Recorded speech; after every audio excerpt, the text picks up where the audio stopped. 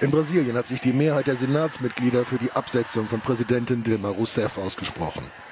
Während einer Marathonsitzung erklärte die Mehrzahl der 81 Senatoren, dass sie für die Amtsenthebung stimmen werden. Die Debatte dauert an und die Abstimmung wird in einigen Stunden stattfinden. Rousseff wird nun voraussichtlich vom Amt suspendiert, während die Vorwürfe gegen sie juristisch geprüft werden. Die Präsidentin wird verdächtigt, Haushaltszahlen geschönt zu haben, um ihre Wiederwahl zu sichern. Für die vorläufige Amtsenthebung genügt eine einfache Mehrheit im Senat.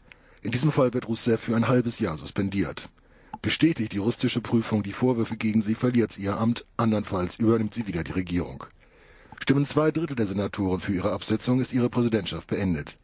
In jedem Fall übernimmt zunächst Vizepräsident Michel Temer die Regierungsgeschäfte. Während der Debatte im Senat kam es in mehreren brasilianischen Städten zu gewalttätigen Protesten. Rousseffs Anhänger halten die Vorwürfe gegen die Präsidentin für politisch motiviert und betrachten das Amtsenthebungsverfahren als den Versuch eines Staatsstreichs.